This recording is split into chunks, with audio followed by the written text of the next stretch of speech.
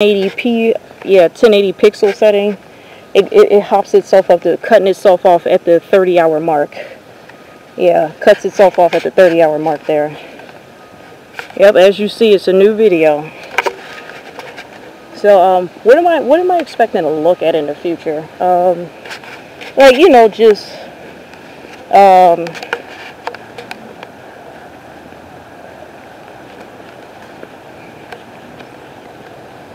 yeah, after, um, yeah, after looking at that, sorry, I'm, I'm in my head right about now.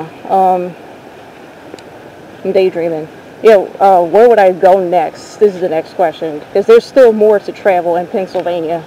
You know, um, I remember reading somewhere years ago, this is the most haunted state in this country. But there, there, there's a hotel that Stephen King wrote his book about called The Shining. That hotel, that hotel is supposed to be the most haunted place, building in this entire country. But Pennsylvania, statewide, state-wise, I should say, is supposed to be the most haunted altogether. Okay. I guess that should make sense because if you think about the 13 colonies, since this was one of them, a lot of stuff has happened here. A lot of stuff has happened here. And this state, you know, really, really, really helped with the industrious period. It really did help with that. It really did. If I'm not mistaken, if I got the history right, you had your steel mills here, your iron ores and all that stuff. Most of that stuff, if I'm not mistaken, if I recall correctly from what I read from history class, all that was here first. That was here first in this state.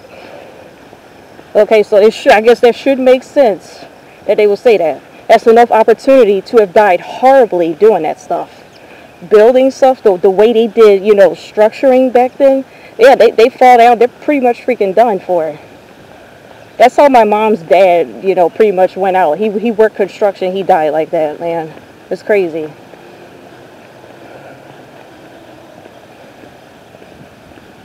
Yeah, at least that's the story I was told. So I never got to meet the guy. I never got to see that one granddad. You know, Got to see the other one, but I was a toddler, so I didn't have a chance to actually have a full-on discussion. Then he died. I was like, really? And then mom's mom is gone, so I can't talk to her. But only one of my grandparents is around. That's great. The dad's dad's mom. So at least I still have her, man. So I didn't get a chance to, to really, you know, have a, a sit down with the other three.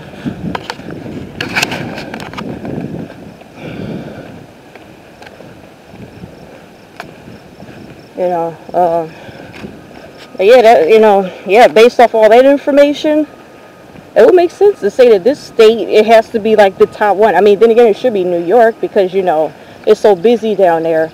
And you know people you know they try to hurt themselves all the time down there. And it's it's that bad. They got to have a rule. You try to jump off a building you still live but you killed the person you fell on you have to go to jail which would make sense sure. But i'm thinking shouldn't you put them in a mental asylum first you know or something? But whatever man. But that's New York. I would I would think at least New York should at least be number two on the list. New York City, New York, if anything. Um, what else? Yeah, I know Jersey's got some. I mean, it should be everywhere in the country. I mean, human beings have lived pretty much everywhere, just about. So it should be everywhere. They left the market. Oh, look at this. I haven't, I haven't come. Did I come over here to look at this? I don't think I did, but that that's open. I don't think I did come to look at that. That might have been a spot that I missed. Yeah, infrared's not going to work up there too well. Was trying to be able to see into some of the darkness a little bit. I probably did see that part, and then I came back. Yeah, I did see that.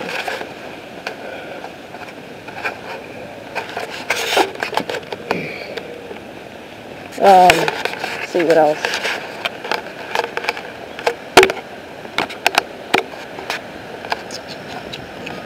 Man, there's a lot of good green out here. Lots of great green, man. Lots of good green. Nature area. So that's what these signs were saying. I almost thought these were the trespassing signs. Nature area. Zoom out some. Nature. Sections of this park have been set aside as natural areas to protect and or study wildlife and plant species. No hunting, trapping, shooting firearms, or bows permitted in this park. Harming or disturbing wildlife may result in a fine of up to $1,000. No dogs allowed in nature areas. Dogs must be leashed. Visitors to this area are to remain on the pathways.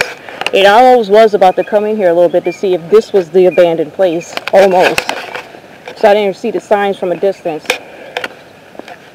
But I found this place in a different fashion.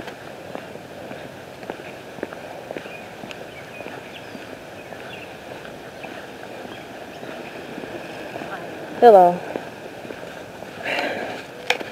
Man.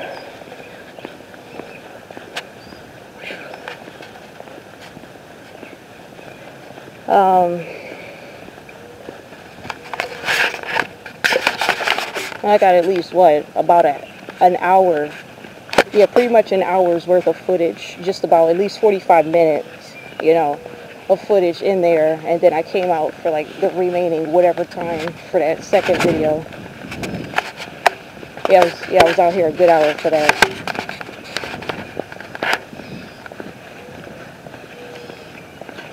But I'm definitely not going to be camping out here you know, because then somebody else will come in here and you never know. They may want to kill themselves in there. You saw some of the messages in there.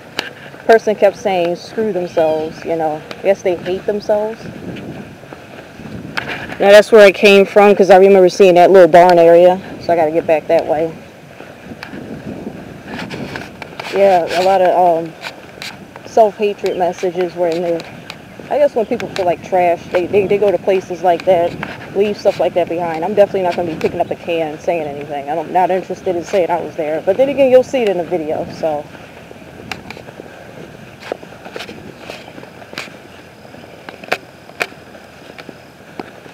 But, uh, well, have more, some, some more persons coming out. Now, these signs are talking about what kind of birds are out here. Oh, crickets. See here. Oh no. Oh, it's a little bit of history. Navigation Research and Development Center. Penn State ARL. Inertial Navigation Facility being constructed in 1962.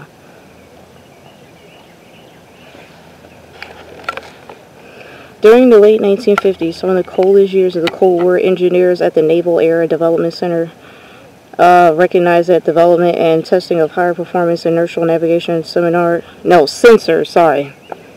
Yeah, that that's sunlight, dude. I'm telling you. I'm reading through the camera. Sensors should require a unique, dedicated test facility based on results of a site survey that focused on seismologically quiet criteria and proximity of, up to bedrock. The Warminster site was selected for the new inertial navigation facility. 1961, construction of the new in Was, yeah, this up here, was initiated, was completed in approximately two years, meeting the exacting environmental requirements of precision navigation development and testing. The main building is a geodetic, no, geodetic, domed circular building. Wait, so they had stout, they had gyms out here? Building approximately 155 feet in di diameter. Amongst the unique characteristics of the building are A, an outer wall and center hub with vibration isolation, material being between the upper and lower footings to attenuate building-generated vibrational disturbances. B, a concrete floor constructed of individual slabs of concrete. Three-fourths expansion joints between slabs to reduce, wait, three-quarter inches, sorry. Expansion joints between slabs to reduce the vibration transmitted from one part to, of the facility to another. And C, the housing of all basic utilities within a separate, sorry, I lost it, isolated mechanical building focal point of the facility is the inertial sensors laboratory, which is located below ground level to enable the 12 granite test piers stable bases upon which inertial sensors are mounted to be bonded to the bedrock. From 1964 to 1966, the INFAC was used to develop new technology inertial as well as inertial navigation so they have tr transitioned to surface ships, submarines, and aircraft. In September 1996, a result of a base realignment and Closure action in Navy facility in Warminster was closed. However, the Navy recognized their continuing need for the INFAC and worked co cooperatively with the Department of Education, transferring ownership to the Applied Research Laboratory, Pennsylvania State University. And under ARL, the capabilities of the INFAC now, re, re, oh my goodness, referred to as the Navigation Research and Development Center we're wait hold on. I'm losing it again because I'm, I'm getting distracted by this stuff out here. We're expanding, adding five laboratories. The Greater Philadelphia Institute of Navigation Library and staff members who are nationally recognized. Uh, wait, what? Who are nationally recognized navigation expert? Okay, this has enabled NRDC to better serve the navigation needs of the Navy as well as also serve other uh, DOD agencies and industry. Okay, so there it is a little bit of history. So if I, so they were testing earthquakes, and they mentioned summer submarines. I'm guessing sonar and all that other stuff. They were testing a whole bunch of stuff, man, out here. They did have a, uh, yeah, they did have a um, military area out here. There has to be that stuff right over there go take a look at that. Let's go take a look at that dome. I want to see it. Get up close to it. There, there that is. Actually, I should be making my way out of here anyway. Um, maybe some other time I'll come back here. Then again, maybe not. I'm gonna just, just head on out. You saw from a distance the Dome Lake area. That board was for that. To get me keep going. It'll, it'll be sunset soon.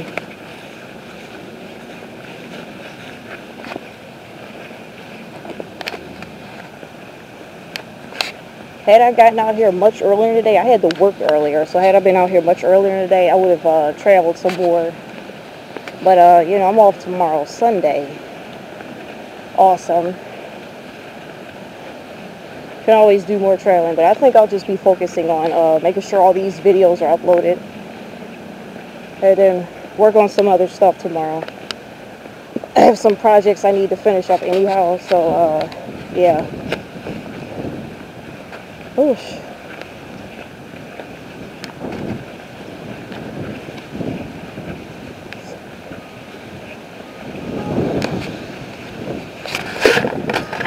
They used to come out here because they had one for crunches. Yeah, these people, they came out here and they did their exercises out here. World Trail. Black leg, no, back leg lift, pull leg lift, and front leg lift. Huh.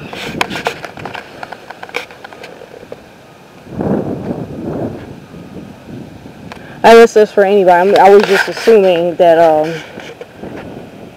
well, I'd be able to hold myself up like that probably. Well, I'm so sore. I should play monkey bars today.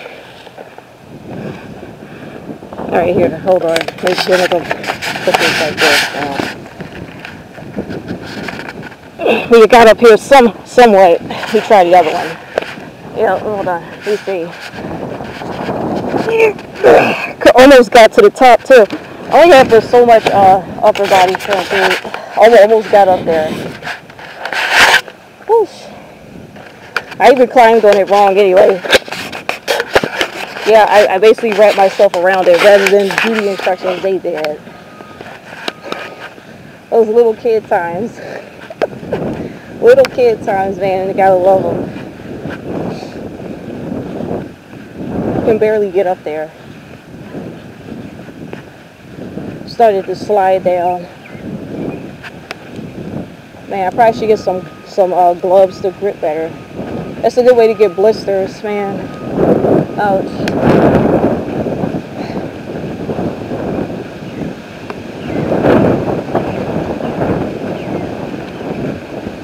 Nice looking house.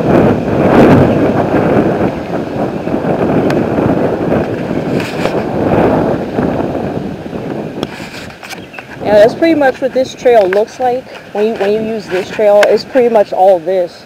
Mostly green in the center and just these paths here. Bikers and pedestrians alike. Man, that's pretty much it. Alright, well, I hope you enjoyed the video. Have a good day.